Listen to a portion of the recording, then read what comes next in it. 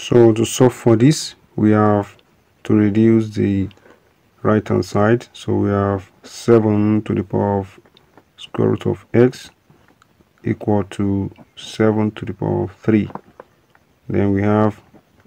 square root of x equal to 3 by equating the exponent. So then we have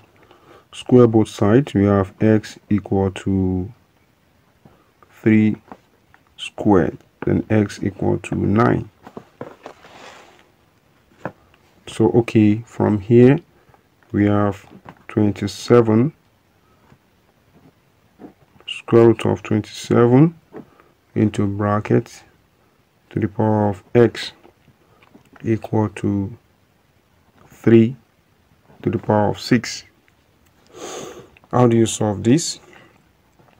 So all we need to do is to put this back as 27 into bracket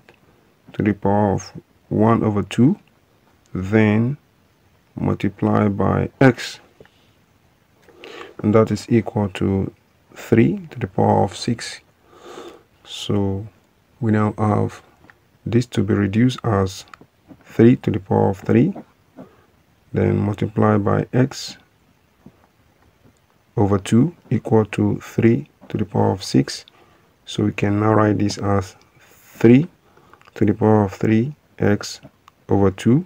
equal 6 so on this multiply 2 by 6 we have 3x equal to 12 then divide both sides by